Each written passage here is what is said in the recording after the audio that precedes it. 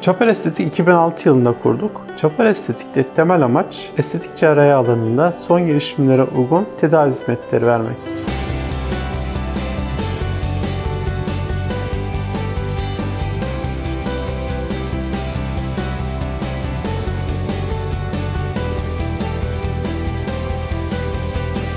Lazer uygulamalarının çeşitli kullanım alanları vardır. Bunlardan bir tanesi lazer epilasyon.